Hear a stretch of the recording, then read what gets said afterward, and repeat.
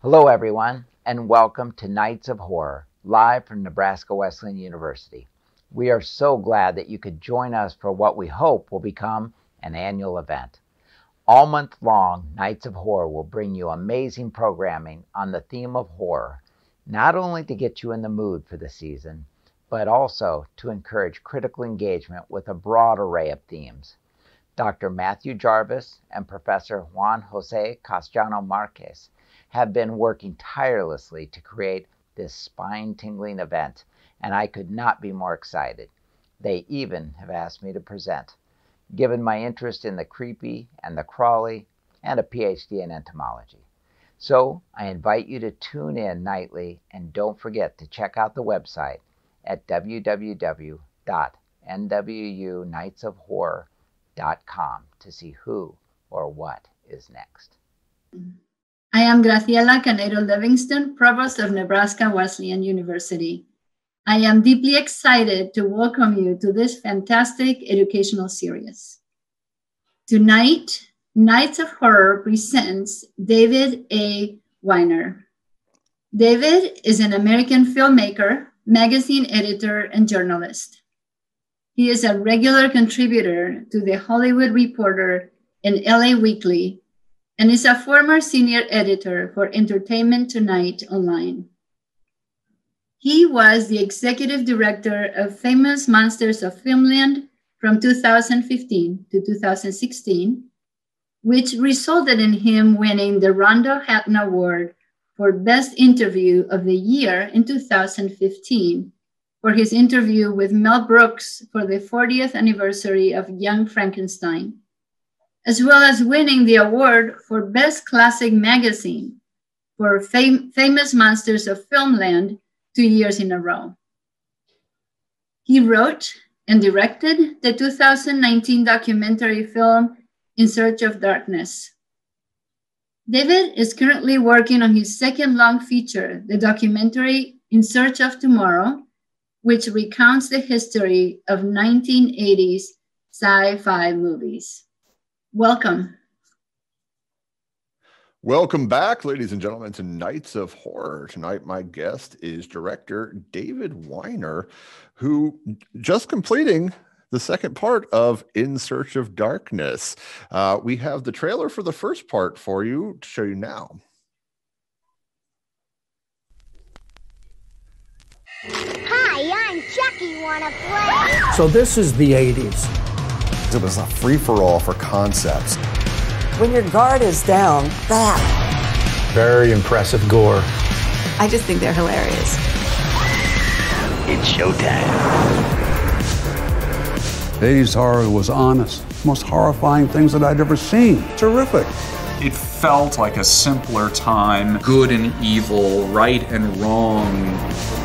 It's pushing back against a lot of what's happening in the 80s at the time. Things that people really are afraid to talk about. Reaganomics, AIDS crisis. Boundaries were being broken. It was taboo. Groovy. Sex and nudity on screen, and it's just as much of a hook as the violence was. That resonates on a biological level with every human being. It got into your head. I'd like sit friends down and be like, you gotta see this horror has given a lot of women great roles to play. Equal opportunity ass kicking is what I'm all for. Kincaid represented the minorities all over the world, and he was a hero. Everything's ironic, everything's funny. You get to have the fun of the danger without the real danger. Tension, chase, kill. It's just our survival. That element of the unknown. That sense of mortal fear is what the quintessence of horror is about. We got special work to do here, you and me. It's unrelenting. The blood in the gore. Horror films are excessive. They're purging. Everybody was trying to outdo each other with the stunts. I will take practical effects any day over CGI. I wanted to be the guy in the monster suit. The makeup artists, became one of the stars of the movie. Monsters, vampires. Cavalcade of werewolves. I thought I was making the only werewolf film. It was really disturbing and phenomenal.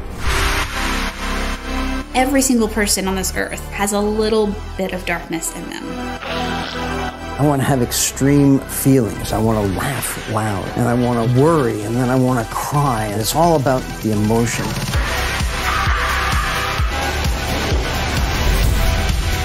That was the kid in Stranger Things that would hop on my bike with all my friends, ride down to the video store, rent a stack of horror movies. We were all in the moment and making stuff up. I love the magic of the movies. We don't take ourselves seriously, but we take the movies very seriously. Nostalgia is powerful. Guilty pleasure? I'm not guilty about it. I don't feel guilty. I think it's great. We have such sights to show you.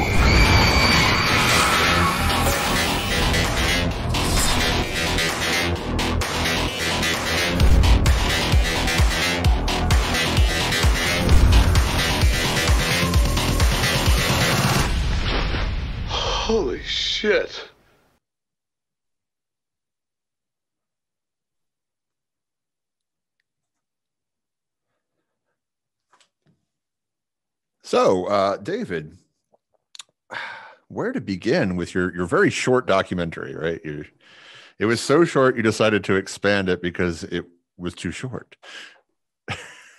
pretty much, pretty much. I have to tell you though, everyone I've talked to about it has described it as breezy in how fast it feels like it goes by, like in a very positive way.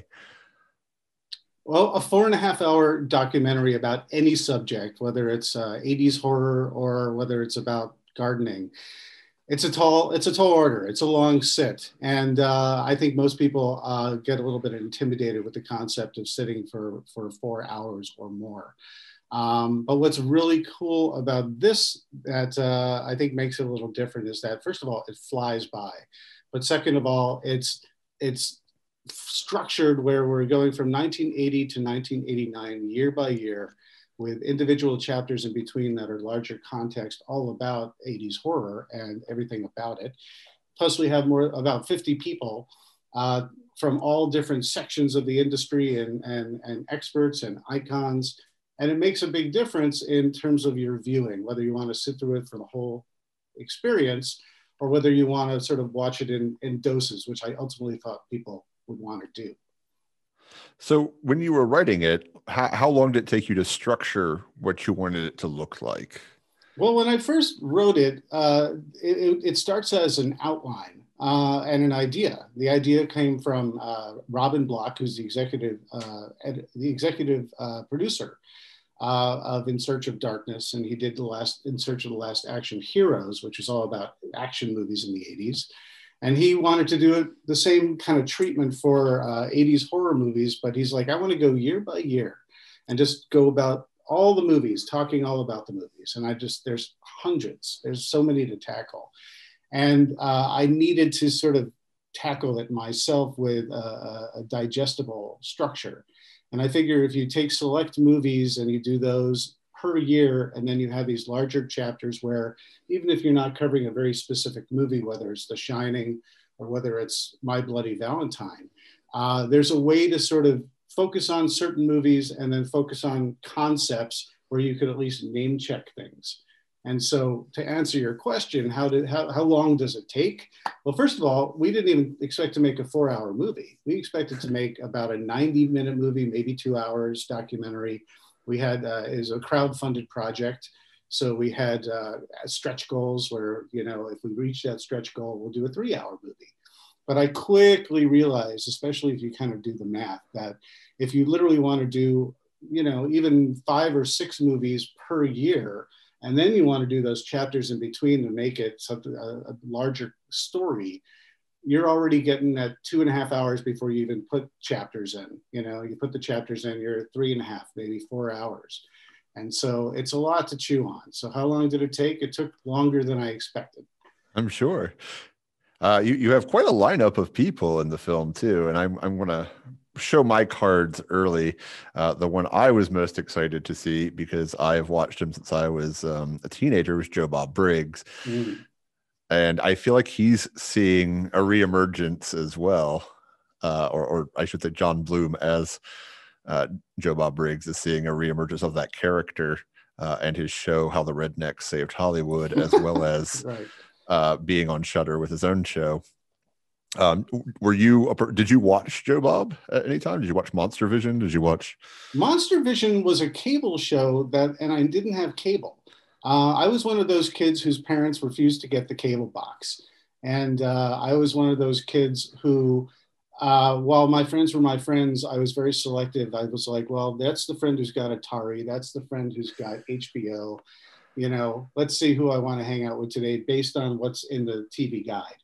Um, so uh, I, I, always knew about Joe Bob Briggs um, and Monster Vision, but I, I wasn't an active viewer at the time when it was on because I just didn't have access to it. Do you but, watch him now? Well, yeah, uh, you know, but I, I think I think the fact that there's this, you know, thanks to Shudder and giving him a forum to be himself, he's really collected like the ultimate uh, collection of, of monster kids and misfits who really love this stuff and hang on his every word because it's such a dichotomy of how he presents himself versus what he the, the content he presents and he really breaks down these these movies with and and these genres and these subgenres with absolute humor and wit that I think what it really does it, it opens the door to film theory uh, and and and film conversation and curation and I think those are the wonderful things that are happening that shudder is kind of leading the charge on. So I've revealed my my nerd out moment for for your film uh, with with him very early on, but now I'm going to push you. Who did you nerd out over getting to be in the film? Well, there's so many people. I mean, we have there are. Uh, we have uh, just short of 50. We you know we started with about we were hoping well let's get about 25 or 30, and then once we got the ball rolling, we just kept on going, and um, we wanted everybody, and we had to stop at a certain point um, just because a we got to make the movie b it's a low budget film and and c is you got to really sort of balance your filmmakers your your writers your special effects people your actors uh, the people who are influencers like you know joe bob briggs you know or your you know your your journalists you know like uh, phil nobile jr or heather wixson from uh, phil nobile is is fangoria heather wixson is is daily dead uh, these people really know their stuff, and it was important for me to find a balance of uh, people who were there telling their stories, but people who were influenced by this stuff telling their stories about how film has evolved and their appreciation of it has evolved. So my geek out moment for me, because I had such a wonderful cast and it was such a wide ranging cast, was uh, at least for In Search of Darkness one, the big fish was John Carpenter. Mm. Um, and and just the fact that we were able to get John Carpenter to say, "Sure, I'll do it," and then actually do it, and uh, and give such a wonderfully candid interview, uh, quite surprisingly to me, a bit more self-effacing than I expected, because we all we all see him, I believe, as as the horror master, but he looks very much at the '80s and that decade as a lot of victories and stumbles and victories and stumbles and he focuses on what didn't work or how things, you know, for example, Halloween 3, you know, that anthology never quite happened, you know, Halloween 2, he never quite wanted to make it, but he felt obligated to have some control, you know. Um, the thing which he thought was going to do really well was a bomb, and it cost him the opportunity to direct Firestarter. He, he got fired from that job by Universal these to me, I think were wonderful things uh, to get into our documentary. And I think the fact that we we were able to sit with everybody for an hour, sometimes two hours or more, and it was a perfect forum for them to get comfortable, not only talk about their own material, but talk about their favorites and the highs and lows of the genre in their career. And, and it made for some really compelling material. Not enough, not at four and a half hours was still not enough. Indeed. Uh, no, the interview with uh, Carpenter is actually very revealing and probably more than I've ever seen uh, revealed by him about sort of these punctuation points in his own career uh, and his thoughts on things uh, in terms of like the franchise of Halloween, as you point out, and such. Uh, so that that was very interesting to see. Um, the other one that pops up a lot, and he's become sort of the ambassador for it, is of course um, Doug for uh, Hellraiser. Right? Yeah, yeah, Doug Bradley. Doug Bradley, yeah, uh, and he's he, he's it's great because it's like Pinhead has come like full circle in this strange way, as now he's like you know replaced the uh the lament configuration right, right. The, the box set of Hellraiser. Well, I think what's interesting about Doug Bradley's sort of experience with Hellraiser was he was kind of the, the character of Pinhead didn't even have a name at first, and he was one of the sort of supporting player Cenobites in a different story that Clive Barker was putting together about creating the ultimate female villain. Mm-hmm. But based on the fact that it, it, was a compelling character that he created and the fact that they chose him to be the box art. So he was the one staring back at everybody when they were in either Blockbuster or mom and pop VHS shop that sort of changed his trajectory in the whole series to be the center point, and especially with Hellraiser 2 and beyond. Um, we all think of Pinhead when we think of mm-hmm. Hellraiser mm-hmm. now. No, absolutely. Um, and obviously the, the variation you get between sort of like the perceived way the film was going to go versus how it does go is, is rather striking. Uh, how do you see that film? Do you see it as Barker intended or? Do you see it um, in, in terms of like the more mass pop culture way? By the time Hellraiser appeared in the late 80s, I was a bit more cynical at that time. So there's the there's the me as a teen, and then there's the me now. Uh, me as a teen was a typical, slightly cynical, yet also happy-go-lucky, optimistic. There was a balance, but I was a bit cynical when I would see a lot of these franchises and these these franchise style villains appearing. And so I liked a lot of these movies. I mean, I was a huge fan of American Werewolf in London. I was a huge fan of Carpenter's work, um, but and many others, many others. But by the time I would see, you know, another Texas Chainsaw Massacre or an, a, a, you know Chucky one, two through many others, you know, or Hellraiser, uh, even Freddy, even Freddy you know, I, I, really thought Nightmare on Elm Street was was really creative, but then when I, I saw that it was becoming, I, I, clued in to the fact that everyone wanted a franchise and everyone wanted a, a character that they could sort of translate to merchandises and you know t-shirts and lunchboxes. So to answer your question, Hellraiser. By the time Hellraiser showed up, I'm like, oh well, that's creative. They created a guy with pins in his head and they're you know hoping to get the next great villain. Well, good luck to them. We'll see, but I'm not that interested. So I kind of came around to Hellraiser a little later, later mm. where my appreciation for it definitely grew. But at first, I was like, well, you don't see much Pinhead in this movie. I'm confused. well, you sort of um you know, it's kind of like in uh, to leave the '80s for a second and go to the '90s. It's sort of like Wait, Silence of the Lambs. I know.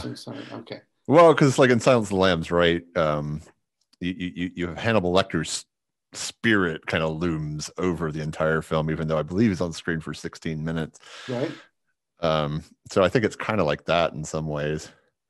Um, yeah, in comparison, absolutely. I mean, it's kind of like you know, you look at the there, there's sort of hindsight is 2020. What's interesting about making a movie about a decade from many years later is that you have the hindsight is 2020 recontextualization, where you could say, well, back then it meant something and it reflected something.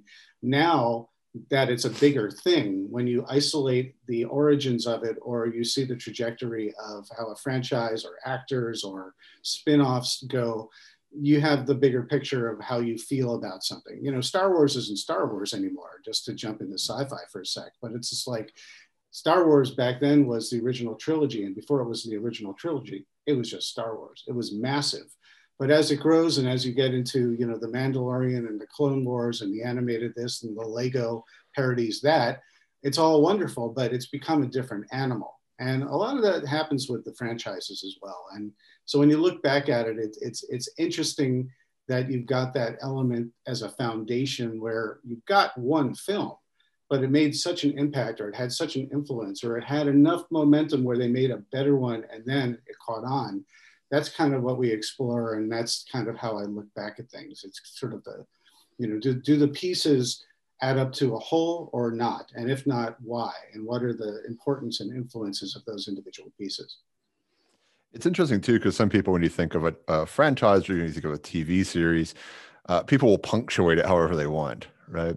Like I have masochistically watched all of Supernatural since I was in college. right. But Supernatural ended in season five. right. It's just persisted for eight more seasons. Right, right. Well, I'm I wasn't going to pass judgment. I mean, uh, you know, guilty pleasures. yeah, well, a lot of these things. I mean, uh, whether whether it's a, a long run anything that is long running you know maybe gunsmoke had it right the entire run but it's like there are there are some shows that i i, I have great admiration for them when they decide at the third season the third season that this will be the final season. Um, and and i have even greater admiration for a, a show that goes more seasons than that and can maintain uh, impeccable writing and characterization and great stories and, and you know running storyline that makes sense and doesn't get all soap opera y you know? So uh, it's hard. It's hard. The longer you run it's harder to keep the wheels you know turning. Walking dead supernatural for you walking dead for me it's kind of the same mm. way. I, I stuck with it but at a certain point uh, you know i kind of thought as much as i appreciated that they were really staying very close to the comics and then starting to veer off and getting very creative. I uh, I thought Negan destroyed that show because he was too good a bad villain, you know, and his destructive force was so destructive that I think it derailed the show, in my opinion. And I had a hard time sticking sticking with it because it just became relentlessly just dour afterwards anyway, I digress. But you know, you talk you talk you talk about the longevity of shows. It's very hard. It's very hard to maintain a high quality and your viewership and cater to all the individual tastes of this has to be this way for me and it's great and if it doesn't do this i'm disappointed and why didn't he do it um, i'd rather let's return to the 80s because you know the 80s uh, it's interesting too because we, we were talking last night with um, kendall phillips about a present sort of nostalgia that's almost like in the zeitgeist for the 80s. Uh, you know, obviously, Stranger Things popped up out of nowhere seemingly a few years ago, uh, and was a juggernaut. I, have uh, speaking of shows I've given up on. Uh, I liked the first season, um, but yeah, it's it's interesting that there's now a really strong return to that cultural nostalgia in the 80s and you seem to have hit right in the sweet spot in the vein here. Uh, what's your perception as to why? Well i think i think when you can capture uh, sort of sort of ride the the flow of a zeitgeist it's something that you can try to do and you either are allowed into the slipstream or you're not you know uh, but people can try uh, I don't even know if we've captured the zeitgeist or a part of it or not, but we're definitely capitalizing on the nostalgia of that decade. Um, I think 80s in particular is is very popular now because all these things are very cyclical. And so, you know, I grew up in the 70s. I was a 70s kid and an 80s kid. And back then, the 50s were really big, you know. So I'd, I'd, I'd turn on the TV and I'd see Happy Days, I'd see Sha Na Na, American Graffiti, which takes place early 60s. You know, all that stuff was very popular because the people who were controlling the programming and, and the filmmakers and the TV programmers were all living the nostalgia of their youth of the 50s. And the movies, the monster movies, everything was also drafting off of the 50s. So all these kids, you know, Joe Dante, John Carpenter, uh, they were growing up in the 50s watching these movies, whether it was on the small screen or the big screen, tremendously influenced. So they either wanted to remake it, whether it was The Fly, The Blob, The Thing, you know, from another world, or or take elements of these movies and put them in their own to sort of build on a foundation and create their own thing. But it was always a nod to the stuff, you know, that was important to them. Uh, and it goes way back to all the classic monsters and universal monsters and all the practical effects you know, uh, Tom Savini, you know, the, the, uh, the, the splatter master, the guy who is the ultimate effects guy, you know, he loved what he, Creature from the Black Lagoon blew his mind. And then he saw a Man of a Thousand Faces, all, you know, about Lon Chaney. And he realized, wait a minute, something clicked in his head. He's like, oh, you can do this for a living? Wait a minute. And, and this really affected everybody. So all these decades whether it's you know if you if you you may have forgotten and for good reason that the 70s were really in, you know popular about 10 years ago. The 90s are already creeping in and kind of pushing you know the 80s out of the way and it depends how old you are and you know the kind of stuff that uh, we're experiencing now are people who grew up in the 80s are now making the movies and they get to relive their childhood on a larger big screen canvas or the Stranger Things or what, what have you. And that's kind of uh, what's sort of, you know, that, that's that's sort of the carrot leading the horse. It's interesting because my students uh, over the last few years have all been obsessed with Friends. There you and, go. It's '90s. It's it's right. And, it was so long ago. yeah. I, I, mean, it's on Netflix apparently, but I I, I didn't watch it. then, so I'm certainly not going to now. But I did. I mean, I don't know. It, it is interesting what you say in terms well, of well, and Seinfeld and, and Friends and a lot of those those things are. It, it's the '90s is is what's next, and you know people are going to be very fixated on you know 90s they're going to make another scream movie mm-hmm. you know it's Candyman. all sort of it's not a, an accident that they're ready to make another one even if wes craven's not no longer with us uh, because it's very much capitalizing on the excitement about the 90s and the longing of another generation that came after us who are longing for the simpler time of the 90s. And believe it or not, there's going to be a whole generation, you know, post 90s who are going to long for those times too. And I, I think it's a definite cycle. Um, in terms of these, you, you also, I mean, you talk about some fairly obscure, I think, to non horror folk uh, films in In Search of Darkness. In fact, you know, some of the academics we've had on haven't seen some of the films that you you bring up. Most notably, one of my favorite actually is Fade to Black. Um, what made you pick the films you picked that were sort of more out of the mainstream, like Fade to Black, to include?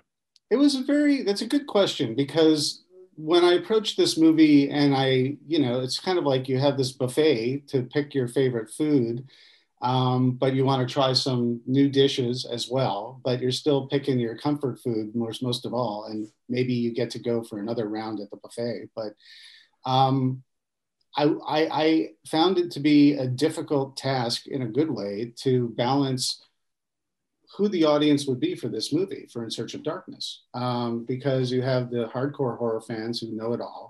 They're the ones who sort of, you know, toe the line between I've seen most of these, but there's some I've never heard of before. And they're the ones who are just like, I've never seen horror other than The Shining, or they haven't even seen that, but they're interested in checking it out. So you want to sort of be able to satisfy multiple levels of audience knowledge and participation and experience. And it's always going to be a losing battle. But I, I felt it was important to demonstrate that there was a lot of creativity. There was an explosion of creativity. And the best way to do it was to put all these movies, regardless of their, their critical acclaim or lack thereof, or their box office prowess or lack thereof, that all these movies are all kind of on an even playing field when you're looking back at it. And uh, all these movies are very important to all of us for personal reasons, whether it was a movie that I saw, like Humanoids from the Deep, you know, where I, I, I, sat as a latchkey kid with my pal and watching cable on an afternoon when his parents weren't around. And there's monsters and TNA and things that I was probably too young to see. And it made a real impression on me. That's a movie that I, you know, I didn't get in the first one, but I tried. It's in part two. But the point is, um, I think there's there's a lot of interesting movies that help define a decade. And there are movies like Fade to Black or The Hunger or A Company of Wolves or Brian Yuzna's Society mm-hmm. that um, you know going back to going back to trying to appeal to everybody it's like you can't just put one franchise movie if you've got you know multiple friday the 13th movies multiple halloween movies multiple nightmare on elm street movies if you just do one and done or i guess you do a chapter just on those it, it sort of defies the logic of year by year mm-hmm. so that was sort of the conundrum i faced and so um, some people said, why are there so many franchise movies and not enough gems? Some people said, I've never heard of these gems before. How come this one thing from the franchise is missing? You know, like you can't quite win. So, lastly, I'll say about that is uh, a movie like Fade to Black, for example. That's a movie that I've loved ever since I saw it uh, when I was young. I was a huge fan of Breaking Away and Dennis Christopher's okay. work. Um, I always felt it was sort of a movie that was more on the fringes of horror movies because uh, it's really more about a horror movie junkie and it's kind of about a misfit and a loner. And a movie like that, I think, helps identify uh, uh, the type of audience who who gravitates this to this material. um, and they can see themselves in that type of character. And uh, that's very important to show and to show that horror wasn't always about practical effects and sometimes it was about you know creative and dramatic storytelling um, I'm I'm a huge fan of the film. I, I don't even remember when I first saw it, but uh, I don't know. Uh, in Search of Darkness like validated my myths, my misspent youth, uh, in going to the video store on Friday and Saturdays. You know, going to sleepovers and having a pile of like ten movies, and you know all of them being horror, and watching all this stuff, and you know having having done it now for like thirty two years of watching horror movies. Um, I don't know. I felt really vindicated by it in a lot of ways. And you know, it, it, was interesting to see some of those pop up in there to me. Like I, I wasn't disappointed with the flow myself, and I, I've seen almost every movie in there, so I felt well. There, there's sort of two elements that that you mentioned that I'd love to sort of slightly unpack, and one is the fact that um, I knew that I couldn't cover all these movies. There's just too many, and so um, between each movie from one to the next, I put this wall of posters Mm-hmm. Um, so you could at least see that we know that there are other movies that even if we don't give them a verbal reference, you got a visual reference that they are out there if you're interested, or just to have the knowledge that there was so much that that came out. Um, but it is sort of a bit like that browsing experience at the video store, and I think I think it's funny. I, I, I I'm sure the younger audience has no clue why we fetishize walking through a store picking out videotapes and why that's such a wonderful experience that we miss. But of course, that's an experience that is all but gone now because the video stores are all but gone. Although, mark my words, like vinyl came back, and I, will bet video stores will start popping up again a little more than they currently have because they're just sort of hanging on. And it's a bit of a revival now in certain areas. But when you th- when you think about it, do you, does the nostalgia kick in so strongly that you can actually smell what it was like? Because I can. you can. Well, I can. I can remember. The the the irony for me is that where whether you're on you know whether you're on Shudder, whether you're on Netflix, whether you're on whatever streaming channel, when you're flipping through all these covers, sometimes you find yourself going for for 30 minutes and you're like, no, no, no, no, maybe that, maybe that, no, no, no, maybe that. Um, we did the same thing at the video store, but it was a more tactile experience where you could just hold the box, turn it around, read it, really think about it, hold it in your pile as a possibility. I'm not sure. Let's go to the to the employee recommendations. What does Bob think? What does Jane think? They think that that movie's really good, and here's their reason. Well, I think they've got a good idea. Let's go. You know, or the, the instant gratification of, of what we experience now just from streaming or on demand we didn't have that at the video store. At the video store if you very specifically wanted to get one particular film. You're like i, I want to get the stuff by larry cohen. Oh they only had one copy and it's gone. Now i got to figure out what my plan b is you know? Oh the howling 2 i saw the howling 1 maybe that ooh sybil danning's on here. I wonder what she does in this movie. Hmm. Uh oh, Joe Dante didn't direct it. Does that still mean he thinks it's a good movie? I don't know. Let's put that one on the list. So there's a bit of a nostalgic memory, sense memory, like a muscle memory when you think about that thing. And yeah, it's very nostalgic. Like you can smell the dusty boxes.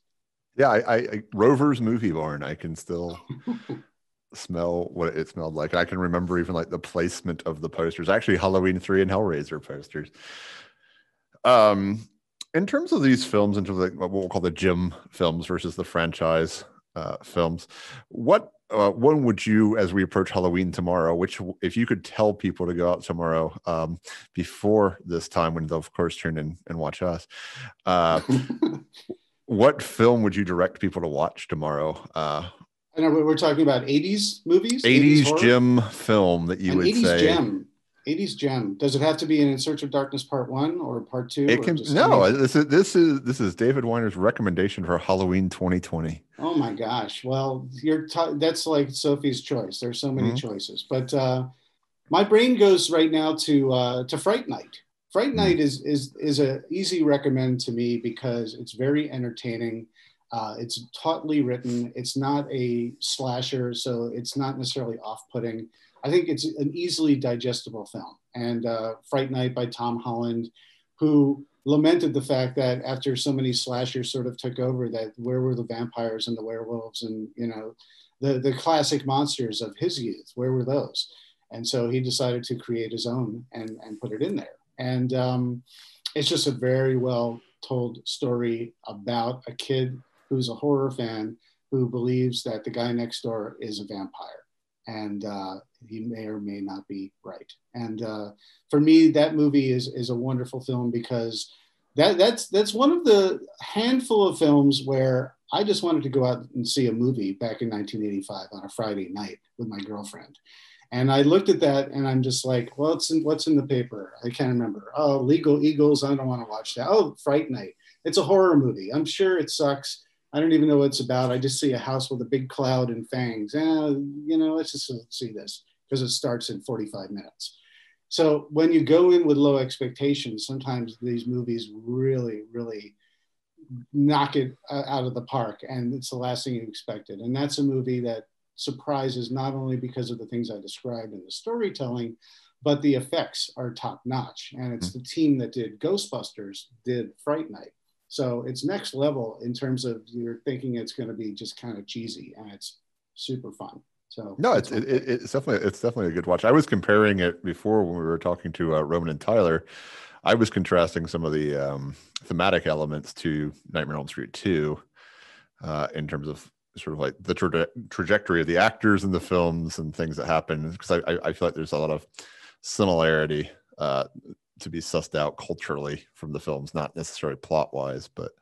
Um, and you're um, talking about specifically Nightmare Two, or yeah, yeah, um, Ab- absolutely, yeah. Well, we cover that in, in In Search of Darkness Part Two. Um, uh, uh, one of the great things about, and I won't, we can talk about In Search of Darkness Part Two later but one of the elements of In Search of Darkness Part One was, like I said, I wanted everybody, but at a certain point, you just can't have everybody. I was sure. very happy to have Heather Langenkamp, but I wanted Robert Englund, of course, too.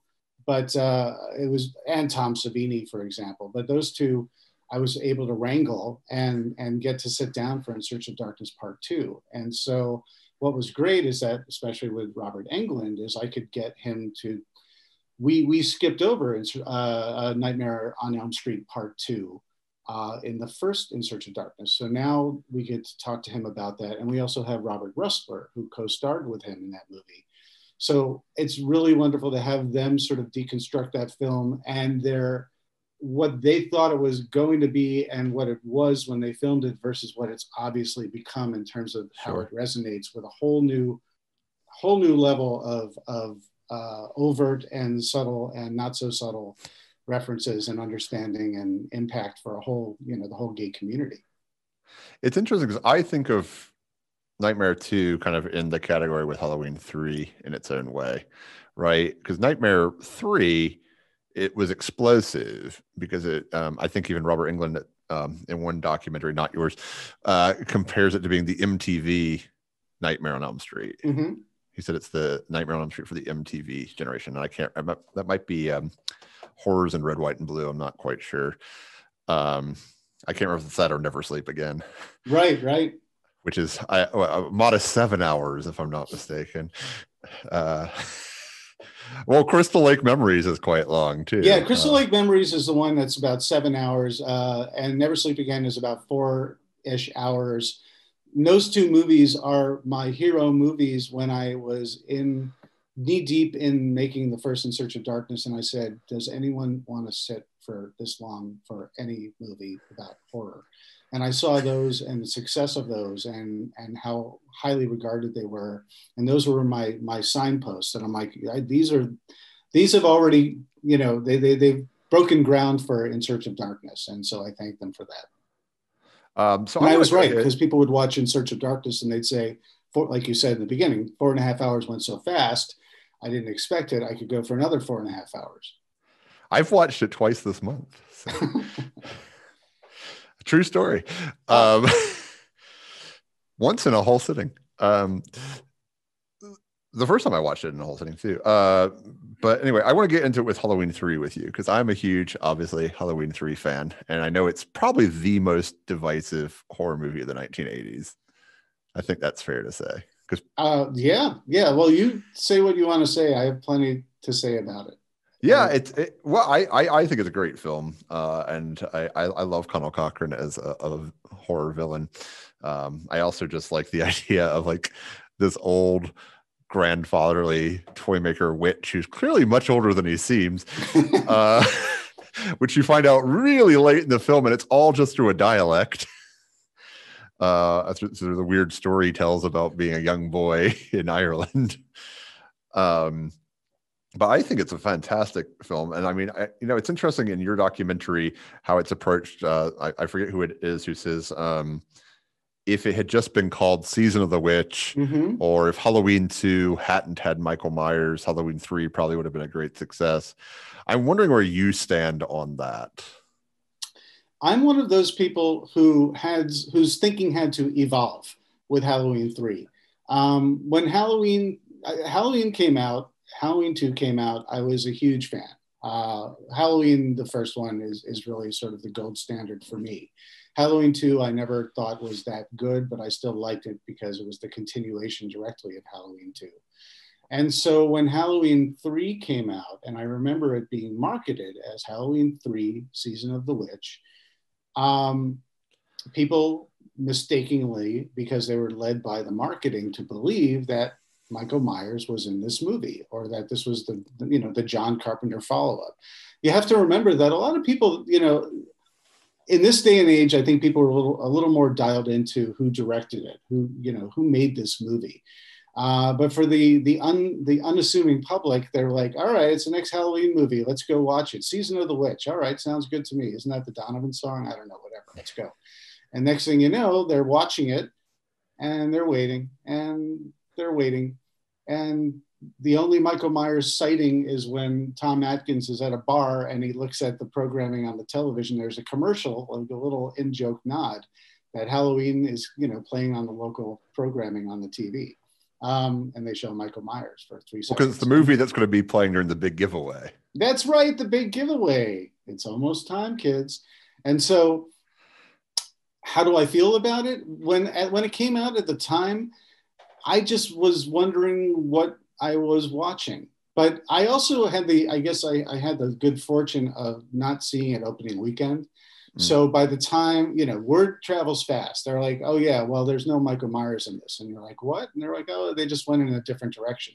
So I wasn't as, as, you know, my expectations were, weren't as assaulted. I wasn't as insulted as so many people were. Um, but I think, you know, just to create a little context for those who aren't in the know, what happened was, you know, as you know, John Carpenter was like, I don't really want to do three. He barely wanted to do two. Uh, he only wrote two, he didn't direct two. And when three came around, he's like, why don't we take this in a new direction and create an anthology? And every new Halloween will be a different story and it'll have the Halloween title. Uh, this one will be Season of the Witch. Next time, you know, it'll be something else. Um, in fact, he recruited Joe Dante at one point to do it, but Joe wasn't available uh, after he was briefly involved in the film. And um, they all kind of had to eat crow because um, it was a good movie. And they do realize that if it had been marketed as just Season of the Witch, not Halloween 3, it could have been Halloween colon Season of the Witch. But when you say Halloween 3, you expect an expe- uh, a continuation of the Michael Myers, Myers story. So I think lastly I'll say about it is that uh, there's a there's a much great listen, you've got the three masks right behind you. That says it all right there. There's a greater appreciation now just for the the fun of it than there there was decades ago. And you know, you get that song earworm stuck in your head, three more days till Halloween, you know. All I could say is that for having Tom Atkins in my movie, and have him sing the Halloween three song and, and say that it drove them all crazy. Uh, that was like stick a fork in me. I'm done. That's like the best thing I could get. Yeah, I mean, obviously he's uh, an icon of himself of the '80s in horror. Uh, and, mustache and think, or non, non yeah. mustache role. M- mustachioed. Um, well, yeah, because I mean, the the trailer for Halloween three was just the witch mask kind of going back and forth, and then up really close in the eyes. So, I mean, I, I don't know what people were expecting because like the trailer wouldn't have led me to think Michael Myers necessarily either. Um, Well, they didn't show it, but there was a there was just the momentum of two previous hit movies, and here's the third installation of a series of, you know, now we're all in franchise territory, and everybody knows that the bad guy keeps coming back for more, whether he died at the end or not. And so here comes Halloween three. You're like, all right, Michael Myers is back. Who cares that he died in the last one? I guess he didn't somehow. Here he is, you know. Um, listen, I, I, I think for those who were in tune, they weren't surprised. For those who just showed up for Halloween, another Halloween movie, they were disappointed. Um, either way you slice it, it killed that anthology idea dead in its tracks. And uh, I, I, for one, would have loved to have seen a new Halloween movie every two years, just with an entirely different subject. And you can go spin that off and keep the Michael Myers Halloween, and then have your anthology Halloween, and then you have the best of both worlds. I have to wonder when did anthology horror start? I'm I'm struggling to remember when um, Tales from the Dark Side came out. Yeah, well, Tales from the Crypt. Uh, you you had a bunch of stuff. The uh, uh, probably '60s Hammer horror era. Yeah. Um, that stuff was starting to get. I wouldn't say they had some momentum, but there were definitely a bunch of them uh, in the '60s. And then I kind of feel like Creepshow sort of brought mm. it back. Um, right. You know, so you had George Romero directing, you have Stephen King, King writing, you have Tom Savini doing the effects, and they're harkening back to their EC Comics days that they loved watching, as they loved reading, and they wanted to bring that as an anthology because they loved watching anthologies themselves. And they thought, how this is a perfect thing that we could put four, maybe five little mini movies together, and it'll work.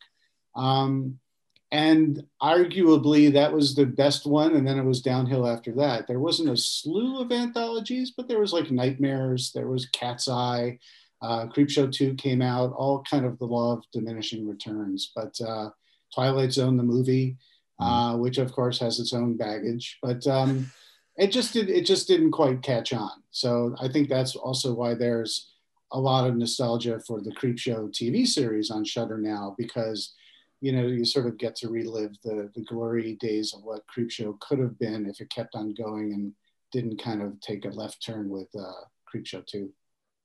You, uh, I'm pausing here on Creepshow 2. What, what, explain your objections. How do I feel about Creepshow 2? You clearly, you clearly have feelings about Creepshow 2. So, well, I love Creepshow. Creepshow, like when people say, "Oh, you have to choose," so choose like five of your favorite horror movies from the '80s. Creepshow is okay. definitely one of them.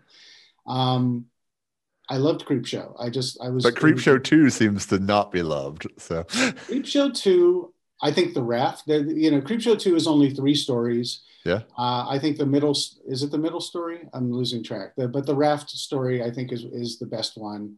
Um, okay. because of its simplicity. You know, not a Chief Woodenhead fan. I like Chief Woodenhead. Don't get me wrong, but uh, I just sort of sort of felt like I don't know, maybe if they had done two more stories, I would have had more respect for it. But uh, the animation wasn't as good. Um, it just felt, it sort of left you hanging and wanting more. And you're like, well, why only three? Couldn't you do a couple more? And it just felt like it was the, the, the original talent that was part of the first Creep Show was not part of the second Creep Show. And I think right.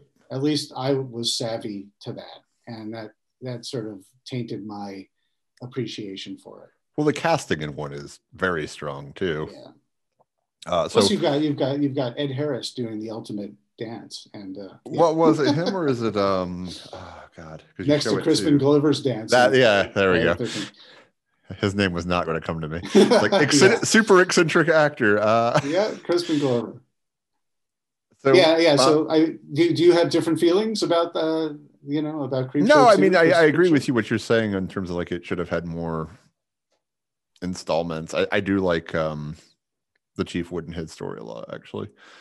Um but no i creep show one is definitely uh, a better watch if you haven't seen either. Well, and, and, any any of these movies they a, a, a, sequel is hard. A sequel is difficult you know uh, especially if a movie is a hit people want more they're excited for more they're clamoring for more and then you make more and then they're like well it wasn't as good as the first so what was what would be your pick out of the original Creep Show if you could only watch one of the stories? Oh, well, the crate, the crate, hands down. I, lo- I, lo- I love them all. I would say the the lowest on the totem pole of the first one is probably um, they're creeping up on you. You know, Yep. the E.G. Marshall one. I still I like that, but compared to the other ones, that one is the one that could that could be cut, and I wouldn't miss it.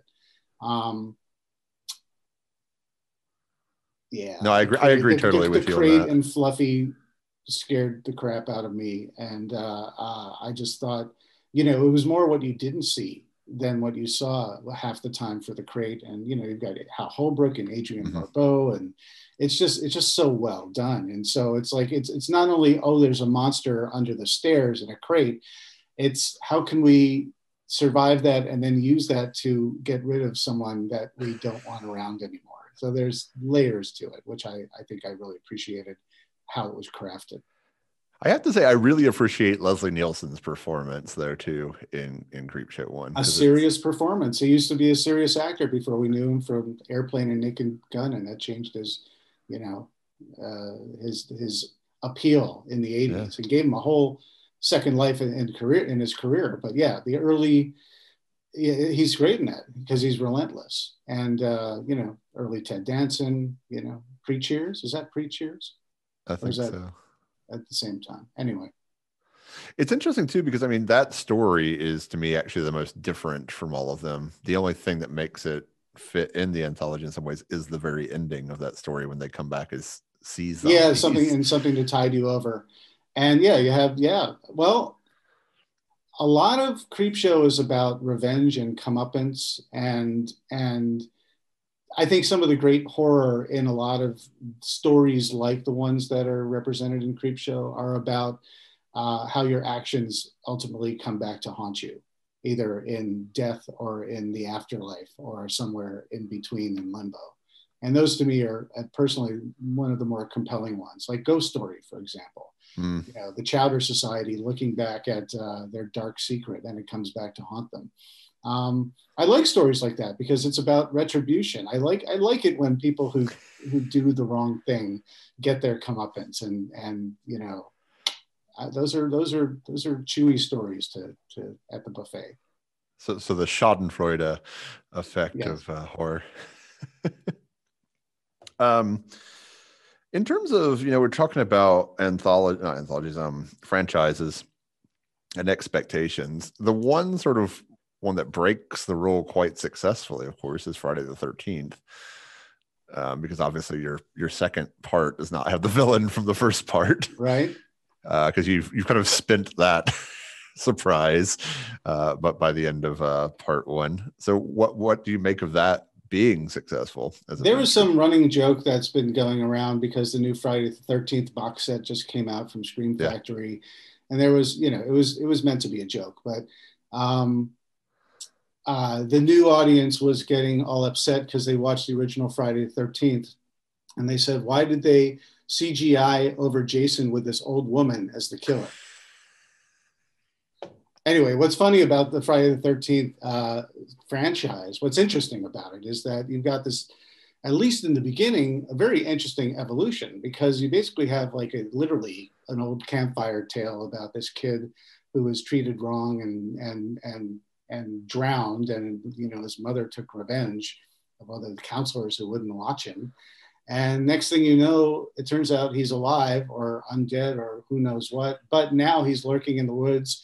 He's he's he's a burly man wearing a sack and he's killing everybody. And it's it is a true sequel that sort of evolves from this original story, which is cool.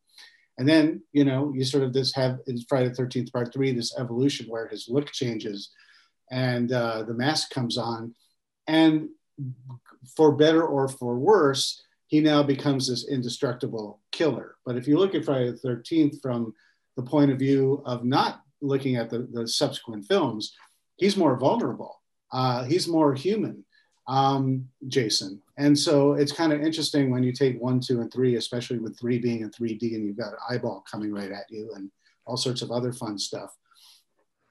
The, the franchise goes in all sorts of different directions, first three movies. Then after that, listen, if you want to give a lot of you know, credit to the trajectory of that franchise. In the fifth one, they did they pulled the wool over your eyes, and it turns out he he's he really is dead, and there's an impersonator, right? Spoiler alert. Um, for me, the appreciation of that was when you know at a certain point I had Jason fatigue, but then when he became this sort of zombified, indestructible, almost universal monster style, struck by lightning, brought back to life, kind of you know relentless force. That to me was kind of fun, especially in Seven when you have a telekinetic character who can go toe to toe with Jason, made it interesting. And then lastly, I'll say by the time, you know, well, first of all, they go to Manhattan and they didn't go to Manhattan. They spent all their time on a boat and then a couple minutes in Manhattan to go sightseeing. But you jump into Jason in space and Jason in X. That to me is fun because it's like, listen, there's nothing left. Put him in space. Let's see what he'll do. And they got pretty creative, whether it was a holodeck or whether it was you know, cryogenically frozen faces that you smash on a countertop. Like, listen, long live Jason. well, he also grows up real fast, right? From I guess zombie boy in a lake to right. Uh, he grew up two. very fast, much like uh, like Damien Thorn does in the Omen trilogy, where he's a you know he's a toddler practically, and then all of a sudden he's in boarding school two years later. Then all of a sudden he's a thirty year old uh, politician and you know another three years later. So the uh, as as Don Mancini, creator of Child's Play, likes to say in, in Search of Darkness Part Two, in the twisted chronology of the Omen franchise. It's funny. I was showing the uh, the nanny scene. That's pretty early uh, at his birthday party uh, in class the other day because I, I, did a lecture on the Antichrist, and um, that's as, that's as, so as we all want to do, you know. I mean, I you know, some days I, I get lucky and I get to I get to lecture on stranger things than other days. You know, some days it's Jackson Pollock, some days it's the Antichrist, and depending I, on how you feel I about will, Jackson Pollock. I'm interested in both. Um Sorry, but, I destroyed your train of thought. So no, the, nanny it, and the omen. Yeah, it, it was fascinating because the scene actually still was rather impactful to students. Like they still sort of it's shocking. It. It's shocking. It's all for you, Damien. Also, apparently, I think that's uh, Jack Palance's daughter. Nobody seems to know that, but who plays that nanny. Short-lived acting career. Yeah. yeah, that, those, that, those movies are really great, and um, I also find them. Uh, what I think a, lot of people when they think about '80s horror and they think about that decade, they think about the Friday the 13th. They think about the franchises. They think about the slashers. And I think that's why a lot of people sort of, you know, they relegate that to, you know, I'm just not interested. It's just not a, a genre that that deserves the respect that other genres arguably do if you have respect for certain genres versus others. But that's the way we are uh, as a society.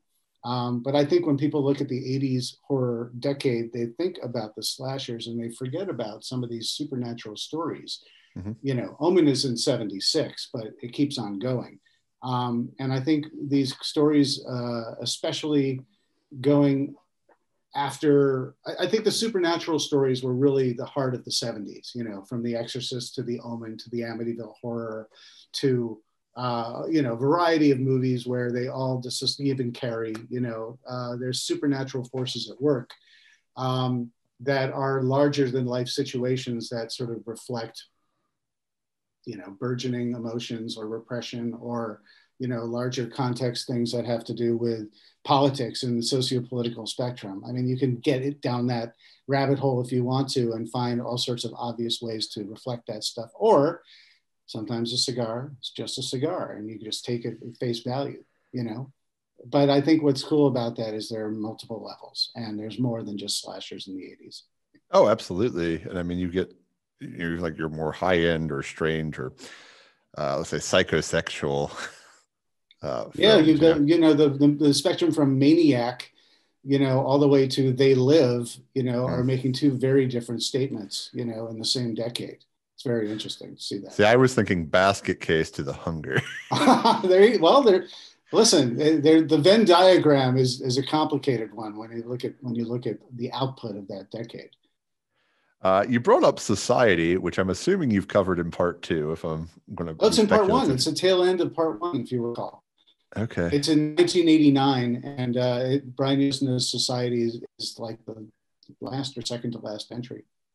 Okay. Uh, I, I, don't know why I'm not remembering okay. it that it's way. A long, listen, it's a long movie. That's well. I, I also rewatched Society this month, so um, as one does, you know. well, we, you know, sometimes there's a there's a there's we miss the shunting, and you need a little shunting every couple weeks just to refresh you. Well, it's almost like two movies, right? Society, you know what I'm talking about, right? I mean, the movie is like the movie until the shunting, and then the movie during and after the shunting, which of course the conclusion. But and there's that, no point of no return, right? Yeah, I mean, it, it's definitely like you've now crossed the Rubicon at some point, you know, and there's no going back. You know, when, when the judge all of a sudden has a new mole, there's no going back from that.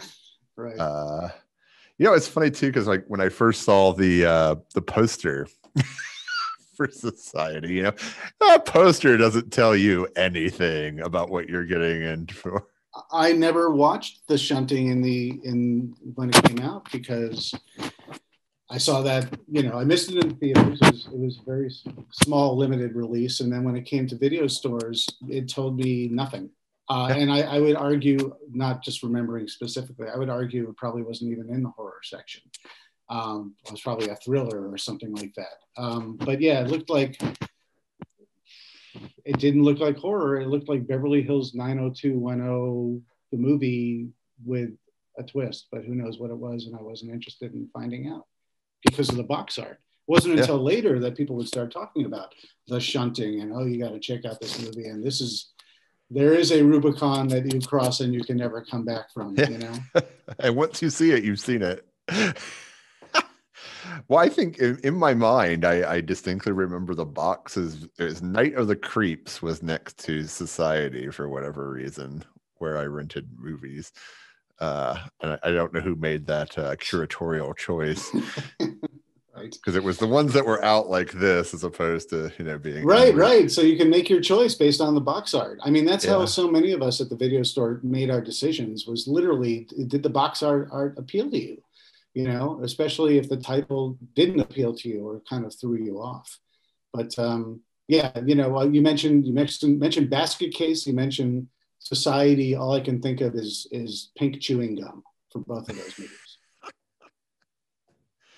I don't want to give too many spoilers away to people. Right? That's I think that's that's a bit arcane enough where people, if they're interested, they can check it out. I will say, basket case, you you go out the window much sooner than society. like, right. I mean, granted, they go as far. I'll say. Well, for uh, those who are fans or are aware of uh, Basket Case, um, and I and, and I know Joe Bob put Joe Bob Briggs put it on his show, The Last Drive-In. Uh, but Frank Henenlotter, who directed the Basket Case movies, he did Brain Dead. Mm-hmm. And Brain Dead is a great movie. And Brain Dead is another one where I, I avoided it for a long time because I looked at the art and I just, it didn't, sometimes the title it, it just doesn't do the content justice. And I thought Brain Dead was kind of a generic title and uh, the, the box art didn't quite tell me what you were in for. And it wasn't until people said, you have to see this movie, just trust me, it's just bonkers off, off the wall, that I would finally appreciate the output of Frank Henenlotter, who I think is very much underappreciated when people look at that decade.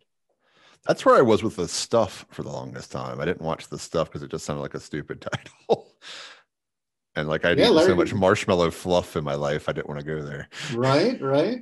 But Larry Cohen, um, Larry Cohen's work, if you look at his his career, um, I mean, he was he was a true maverick because he made the movies that he wanted to make, and he he turned them around real quickly. He turned them around on a low budget, and he made whatever he wanted. And he he crossed multiple genres, and they made them all you know interesting. And you know when his foot was in the horror genre, whether it was It's Alive, or The Stuff, or Q the Winged Serpent, or Maniac Cop um, that was really interesting stuff because he had a real satirical eye again. Uh, that he, he knew he knew, especially with the stuff. He's like, if I make a, a movie that, that's a didactic film about you know consumerism, people will just yawn. But if I make it about like you know killer yogurt ice cream or whatever dessert that that kills you, you know, and eats you from within, and you know turns you into kind of a uh, pod person first then uh, you know people will they'll get the message much more easily. But people are sort of usually ad, they, they avoid that kind of entertainment if it's a little too obvious. And you got one of the last, if not the last, major interviews with him as well. I did. I did. Um, uh, definitely the last long form interview. I don't know if he did one or two other short interviews after me, but uh, uh, I was unaware that he was as sick as he was, and uh, he was. He welcomed me into his home. Uh, he, he, was an absolute joy to talk to, um, and um, it's funny. He, he's very folksy. He's very straight straight shooter and a very straightforward person. He has this closet in his house. Mind you, his house also is in a lot of his early films because he would film there to save money. So if you've seen any of his earlier films, um, you, you'd recognize, you know, I was recognizing uh, places and things. And, uh, but he has this one particular closet where it's his monster closet where he keeps you know, whether it's the It's Alive baby or, or a bunch of extra, the stuffed cups or the Q the Winged Serpent eggs or the, the adult babies from It's Alive 3, they're all in there. And I got to, uh, you know, I got to see the closet and pose with one of the It's Alive babies and hold up some stuff. And that was a real treat for me. So, you know, Larry Cohen very much missed. And Stuart Gordon very much missed as well. I, I sat down with him for In Search of Darkness and unfortunately he's no longer with us. So I think I think one thing that you point out by by mentioning that is that these movies are are a time capsule.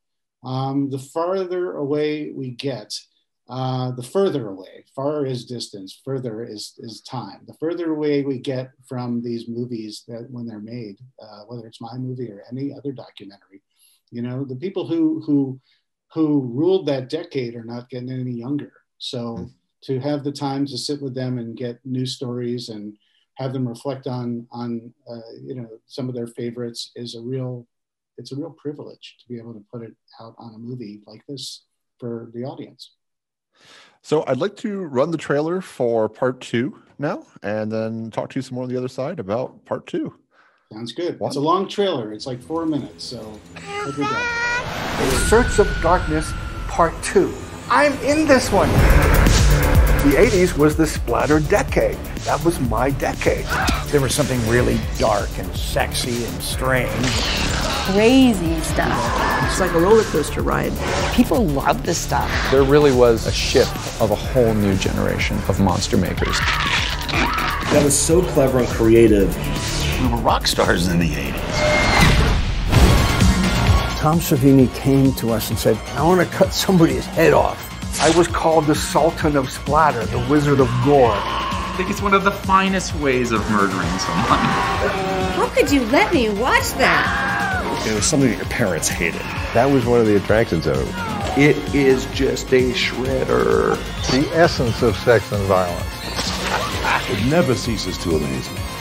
I just couldn't get enough. I remember having to stop it because it was getting so raveled. That's an image that I'll never forget. Gives me chills thinking about it. I love those Italian movies. They're just crazy. The Italians just went there immediately. Just went boom. Video nasties were a good thing for me. A fake snuff film phase. Really? Not very PC, is it? Liquidate the Nazarene. And I just remember thinking, Hello. This is fucking weird. It was all about trying to understand the world around us, and the world around us was extremely hostile. It's full of things that want to bite you and kill you and eat you. And that's just the humans. Revenge of the Nerds on steroids. You control a murderer. Eh, it's more fun to be the bad guy. Freddy bored into his subconscious and was maybe opening the closet door.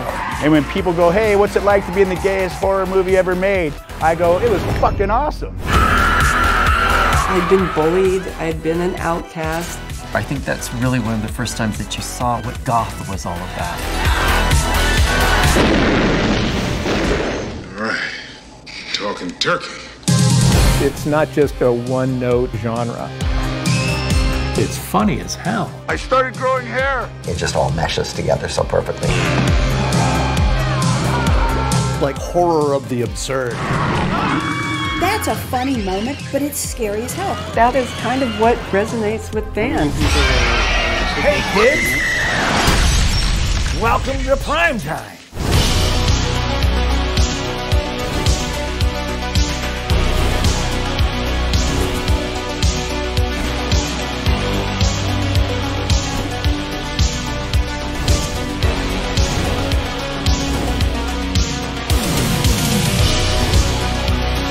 Making the film was so interesting technically. When he started to turn into a zombie, I, he had me on the floor. Just remember, I gave him life.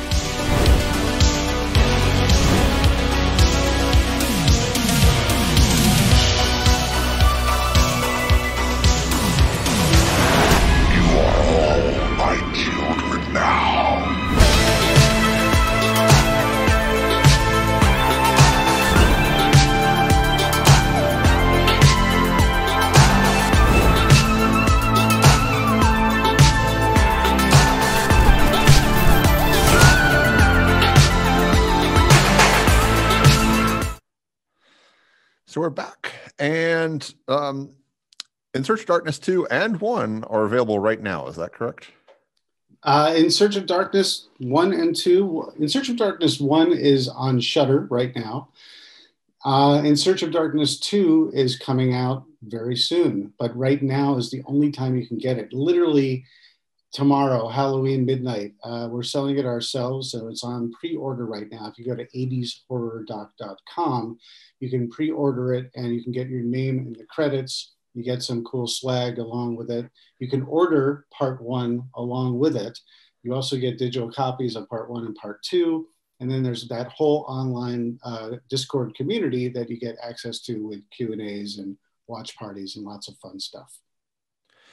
Uh, it's interesting. I mean, I, obviously, you, you have a little bit more uh, wild stuff in some ways in there. I believe I saw a clip from uh, Cannibal Holocaust run That's by wild. real fast. Speak, we'll, we'll just continue in this vein from society on out. Right, for, uh, um, it's interesting. I mean, people have a lot of. I mean, people have feelings about Halloween three. People have feelings about Cannibal Holocaust. Um, where where do you fall on that one? I mean, I don't know how much we can reveal about that. Without, I mean, I feel like that's a movie you either know and you're going to watch it or not. Cannibal. Well, first of all, if you're not already put off by the title "Cannibal Holocaust" and you're interested to know more, it's important in that it it's uh it was first of all it- there was a whole wave of cannibal movies uh, in the 70s and the, in the early 80s. Uh, second of all, it's an Italian film. Third of all, it's uh, it's it's one of the early found footage uh, subgenres of films. So it ticks a lot of boxes. Uh, it's also a film where people thought it was all real, and Deodato, the director, almost almost got thrown in jail for he had to he had to produce habeas corpus. He had to produce the bodies to to, to because his his film was so convincing.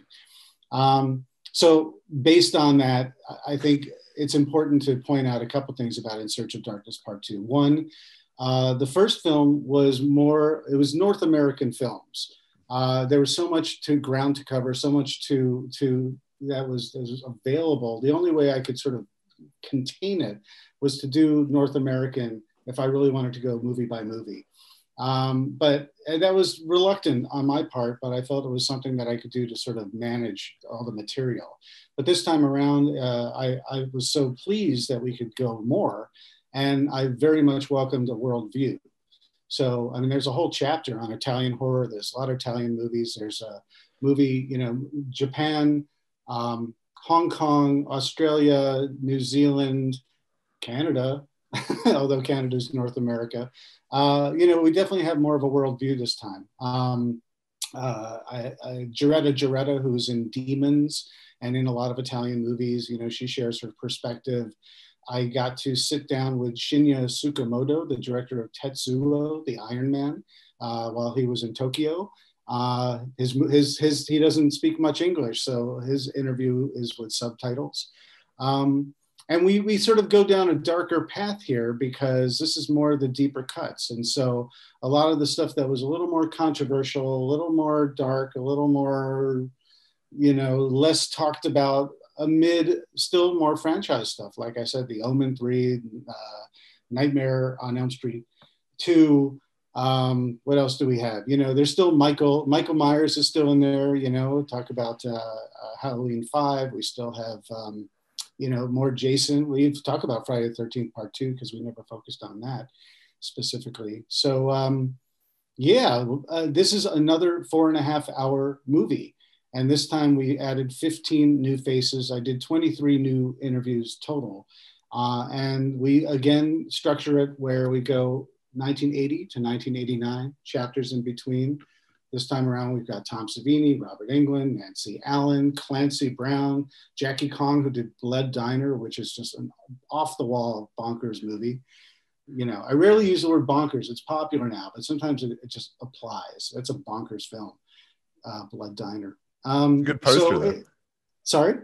That's a good poster. Blood Diner is a great poster. Oh, yeah. Um, lots going on in this where we get to continue the story and uh, uh, boy, you know, it's just uh, I, have had a lot of fun making this, and I'm literally polishing it now, and we're going to get it out next month.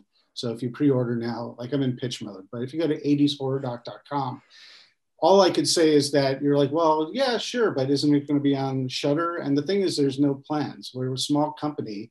We only manufacture these these movies in batches, and we're only doing it now.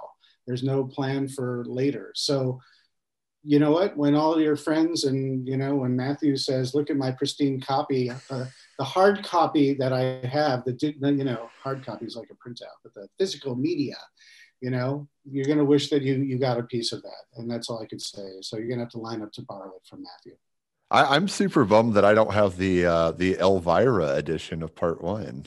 oh yeah, I learned today that exists, and I was like, well, there's a there's a secret. There's an Elvira edition for part two as well. We're doing a couple of collector's editions, and so uh, if you go to Elvira's social media, you'll be able to find it. And uh, there you go. I've already got. Oh, you're killing me, man. I need to own two copies. That's what I'm hearing. Sorry. Uh, no, it was, it was it was really interesting because I and I told you before we started how I I discovered it, and I don't know how I missed it because it's the sort of thing I would have heard about. I feel like, uh, but you did it through Indiegogo. Yep. Yeah, we, we did a, a Kickstarter first, and then Indiegogo for the first one, for In Search of Darkness. Um, and uh, you know, it, it started out as an idea that was hopeful. We you know put a trailer together put really great art together and did a Kickstarter hoping to re- reach a modest goal. And we met that goal in the first 24 hours and then just kept on going. That always helps. and then we did another one. We did, we did Indiegogo later once we had done a lot of the production uh, for a second round. And then we made it available to all our backers and to, th- this was a calendar year ago we did the same thing leading up to Halloween. We made it available to the public. And then we, uh, you know, that's what we did. And we're doing the same this time around, except this time around, it's not an Indiegogo or a Kickstarter. Uh, we funded it ourselves and we're selling it ourselves. But we did another film that's what's next for me, which is In Search of Tomorrow. And that's about 80s sci fi movies. And it's very similar in structure and approach to these In Search of Darkness movies. We did that as an Indiegogo last. Uh, April, and uh, we'll probably be doing one more before that comes out, and that that's aiming to come out in about a year. Okay, and then In Search of Darkness three. Who knows? Who knows? We'll see how well In Search of Darkness two does. You know, if you do one it step at a time. If you do it, what was established by your documentary is it has to be in 3D. That's correct. That's correct. Exactly. I will have eyeballs and and dangling rats and all sorts of fun stuff. And Tom Atkins' mustache coming. Yes, exactly. His 3D mustache. But I, a I lot of people would... actually, we were talking about the 90s, and people are a lot of people are clamoring for In Search of Darkness 90s, and mm. so that's very much uh, uh, a thought process and in the works and on our plate. And you know, lots, lots of people are responding to this approach to a whole decade from a nostalgic recontextual point of view and uh, we're happy to make these when as as long as people are happy to uh, not only buy the product because we're making a product, but it's a movie that is an experience that I think goes beyond the documentary. And building this community beyond the documentary, a collective of fans and like minded enthusiasts who just want to share their favorite moments and share their collectibles and their Halloween 3 masks and say, look what I got. And that shows that I'm a fan and, you know, interact in between these movies coming out, interact with the likes of, you know, we'll have a reanimator watch party and you've got, you get to talk to Jeffrey Combs. How cool is that? You know, so it's in this era that we're stuck for an indefinite amount of time. I think it's really wonderful that we can create a broader experience that goes beyond the documentary. It's funny you mentioned um, Reanimator, of course, iconically from the 80s and very little to do with the the origin story of course because uh, we had S.T. Joshi on mm-hmm. and um, i you know that that in itself was almost like a seance uh, but I, I, realized at one point I told Juan I was like, this man has studied Lovecraft longer than Lovecraft was alive. there you go. Um, but he could tell you like to the minute where Lovecraft was any day in his lifetime. It was oh it really was unbelievable just how precise his knowledge was. Well, H.P. Lovecraft. One nugget, one tidbit I'll give you about In Search of Darkness Part Two is that uh, you know we have all these new interviews and we carry over the original cast about 40 plus people from the original cast because i sat down with everyone like i said for an hour two more and if you do the math you know and you get a four and a half hour movie it's not like right. we only did the best bits there's just all sorts of conversations and discussions and topics and just untapped that i just literally physically could not fit. So this time around i could i could go through all different avenues. And one of them is with uh, the late great stuart gordon mm-hmm. talking about uh, in a set there's a chapter about unmade projects. And uh, he always had this passion project where he wanted to after reanimator they wanted to be sort of the lovecraft team and uh, you know they did from beyond but they also mm-hmm. wanted to do shadow over innsmouth uh, and never quite got to make the, the real shadow over innsmouth that he wanted to so he talks about the the struggles that he had in trying to convince movie executives that fish could be scary. and then and then you have uh, Shape of Water winning an Academy Award. So. Right, right. But that's that's arguably more creature from the Black Lagoon love story versus. Oh, sure. You know, yes, it's a menacing character and creature. But that's what I would assume a deep one would look like. If I, yeah, exactly. Yeah. It's just the love story version, which you get in Shadow over Innsmouth. They, they yeah, have relationships. Yeah. He he had he had Bernie Wrightson who did uh, amazing, who did all the amazing. He, he's a, he's a celebrated comic book genius, but uh, Bernie Wrightson also did the all the art for the Creepshow comic book that they made that was a companion to the movie and you know Frankenstein. He did he did an amazing, memorable version of that. But he did all the uh, the production art and design for Shadow over Innsmouth and never came to pass. Uh, I would feel remiss if I did not bring up the ultimate I'm an 80s kid movie, which of course is Monster Squad. Oh, yeah, yeah. And, and a quick uh, and a quick plug for Andre Gower, his his documentary Wolfman got Wolfman's got nards. Got nards. uh, that's that's out. I think right now. It just mm-hmm. came out, and uh, people are getting loving that, and it's getting great reviews, and that's available as well. And Andre was a, a wonderful asset to uh, to our documentary, and so I'm very happy for him that he's getting some attention for his documentary on Monster Squad. I feel like that also responds to the same thing we're talking about with Fright Night, right? A return to to the the um the, the original pantheon of horror that then sort of gets supplanted in the 80s in its own way with Pinhead and uh, Chucky and Freddy and all the E sounding people. yeah, Jason E. well, that that movie had the the it was very unfortunate the way they released it because they didn't quite know how or when to market it. And so they were kind of trying to give it a Ghostbusters vibe. Uh, uh, but they also had the misfortune of, of, releasing it within, I think, two weeks of The Lost Boys. Mm. Um, and so the problem was for a PG 13 rated film, it felt like too much like a kiddie film for the people who were like, well, it's either between this or Lost Boys. I'm going to see you know, Brat Pack as vampires.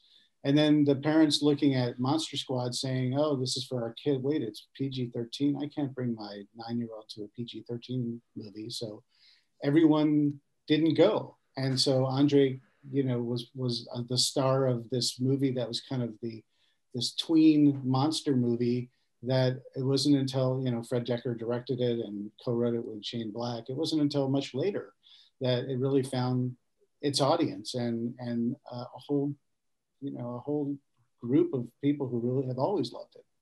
Is it still rated PG thirteen, or has that been lowered? Well, once it once it's rated, it's rated. You know, is Star it? The motion picture is still rated G, I think. No. Well, uh, Midnight Cowboy is not rated X anymore. Well, I think for the one, well, you've got a point there, and I think the ones that are rated X because uh, it's probably rated. I don't know if it's rated. It's rated R now. It's Is it not. rated It's R? not rated. It's not rated NC seventeen because why would it? be? Yeah. Well, then I I think it's still PG thirteen though. I think still I think I don't know. Is Gremlins PG or PG thirteen? I don't know. I mean, it's an interesting question, right? you look at PG, uh, sorry, you look at Gremlins and you look at Indiana Jones and the Temple of Doom coming out in 1984, and those were two movies where the sort of the flashpoint that got parents riled up, saying, "Why is this movie where they're ripping out hearts and and this cute cuddly ETs are are killing people and creating absolute mayhem, and my kids are all scarred because of them now." we need a better rating system for this. Those were the impetus back in 1984. But retroactively, I haven't paid as much close attention to when they come out again, have the ratings changed. There's a, another, uh, apart from your excellent documentary, another one I, I really like that I use in class a lot is um, this film is not yet rated. Right, right. And I mean, it really dives into just some of the absurdity. Well, I think I think well, I think a lot of people don't pay full attention as to the politics and the reasons and the the trends that all play into the reasoning behind the ratings. Um, and it, there's definitely not logic and consistency.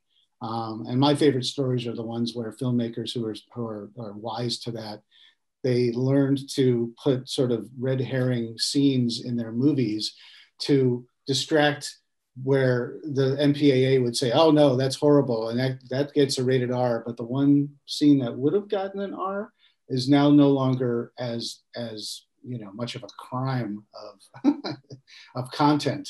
And so there are a lot of stories where they cut back frame by frame by frame by frame just to get a PG-13. And then there's there's or PG, but there's there's another there's other stories where they trim things back. Uh, sorry, they wanted an R, but they only got a PG or a PG-13. I think um, Street Fighter is is a perfect example of that. Street Fighter, uh, they wanted that to be a hard, you know, they, they, they didn't want an R, but they wanted a PG-13. And so they made it tougher, then they made it lighter, and then they had to find some sweet spot where they threw in, you know, Jean-Claude Van Damme cursing, you know, uh, while, while doing ADR, just so they could land that PG-13 sweet spot. So there's a whole method. Listen, this is obviously another conversation that can be had, but I think for those who aren't sort of in the know, um, your rating uh, can very much impact your box office. And you know, you don't want even if it's not uh, if the sex isn't isn't pornographic. If you get an NC-17 or you get an X, uh, back in the day, you, that meant you couldn't advertise in a lot of markets, and and you couldn't get your film out there, whether it was on commercials or whether it was in the newspaper. So a lot of movies would pull their punches just so they can get in and get the widest distribution and get the return on their investment. People cared a lot more about that in the 80s than they did in the 70s and before that. Before then, it was about content. Now, then it, it- people got savvy about you know the box office. You make a point of it kind of in the documentary as well, because you start talking about like the cartoonish levels of violence that you begin to see, sort of uh, if you like Evil Dead 2 levels of violence, where it's just like they change the color of the blood to get around. yeah, like things, uh, Phantasm. Yeah. you know they turned it's it's embalming fluid rather than blood so they could get away with some of that stuff and sometimes they would edit they, they would censor themselves other times they had to learn because they'd submit the film and it was it, it was too bloody so they had to reshoot or change it or cut things out Uh, have you ever seen? They made a musical of the Evil Dead. Have you seen that? I there's yeah. Well, I haven't I haven't sat down for that one. um, I, I've I've sat down. I've I, I've enjoyed select live performances of some really great ridiculous things like i watched the real live brady bunch where they would do brady bunch episodes um, and uh, you know there's the reanimator musical there's an evil dead musical there's a point break musical where if you sit in the front row they give you a poncho i think they give you a poncho for reanimator too because In Evil Dead, the first 10 rows, not the first row, the first 10 rows are called this. I went to it in LA uh, when I was in grad school, and the first 10 rows are called the splatter zone. Okay. And, people line up for that why Well, that's where we were sitting. Yeah. And, you know, if you don't get it from the action on stage, at the end, it pours down the ceiling on just you. Just in case they missed you Yeah. So you look like Carrie after the prom leaving the theater. the ultimate interactive experience and I, I think these these movies are so beloved um, we really line up to sort of get this in-person experience where it's it's sort of uh, all these things are very much clearly done with love and respect for the source material but they usually make it funnier yeah. you know There's also uh, Silence of the Lambs, the musical as well. yeah It comes out. Uh, they have hand puppets on it. This is the silence of the Lambs. Great stuff yeah. Um, are you planning to do any? I mean, we don't. We no one knows what's going on in the world right now. But are you planning to be at any conventions or anything where people can look for you? Uh, when the time comes, absolutely. Um, I always go to Monsterpalooza out here uh, in Los Angeles, and um, you know, well, I set up a table this year? Because I'm usually I just go to see friends and and enjoy what they have to offer. But this time around, I'm I'm one of those people who could set up a table and offer up the movie. And I was actually uh, planning to do that this time around. Uh, when Monsterpalooza was canceled in the spring, in the spring, right around the time that, th- that things, you know, took a turn. But um, yeah, ideally in the future, absolutely, because I, I really enjoy that experience, and I love, you know, I love interacting with the horror community because the horror community is extremely cool, extremely knowledgeable, extremely welcoming, extremely fun. And uh, I think a lot of people who aren't within that community, they look at from the outside. They see you know the goth elements or the hardcore dressing or just you know the cosplay and they just say oh this is frightening but couldn't be further from the truth. Uh, these people are just wonderful. These people are, are, are great and and um, very much in tune. I, I, I read a recent article that people who are horror fans and who love uh, post-apocalyptic that that that whole genre they're more emotionally equipped to handle what we're going through right now than the average joe or jane because they've seen it played out so many times and they understand it and they can comprehend how the reality of things versus the fantasy on screen the, the, the chasm that can be crossed or not Well, uh, there's been a lot of talk here about Texas Frightmare, so maybe we'll see you at Texas Frightmare. I'd love to Uh, go. Listen, when, once once I'm, I'm allowed to be unchained, you know, once they take the shackles out and they let me out of the uh, the dark, dank basement, you know, then uh, I, I'm more than happy to make the rounds. But as long as you're making uh, In Search of Darknesses, they'll keep you in, in, in the dark, dank basement. Yeah. Well, we've we, we've very much enjoyed having you this evening. Thank you so much for rounding out our uh, series of guests this month. Uh, I remind you out there watching that we will be continuing Nights of Horror every Sunday night at 7 p.m. Uh, starting with this Sunday, two days from now, with uh, Bernadette Calafell, Karen Renner, and Kendall Phillips returning to examine Halloween from 1978. Sorry, David. Uh, okay. One of my and, uh, favorites. tune in tomorrow night for our film marathon. Until then, everyone, stay spooky. Thank you so much for having me. Thank you. It's been great, and I I'm really excited to see uh, part two. Demons is actually another one of my favorites, uh, so I'm I'm glad to see that included because I feel like Demons that's is over the top and ridiculous. Uh, you you asked earlier, you know, what some of my favorites are in the video store experience. Um, there were a lot of Italian movies that just didn't. If it didn't, definitely didn't make it to blockbuster, and Yeah. uh, if it didn't make it to your mom and pop, you had to discover a lot of them later. And yeah. You uh, probably just had Suspiria if you had anything. Right, right. Um, so I saw Opera was the first Dario Argento movie I saw actually, which is a very weird first Dario Argento movie.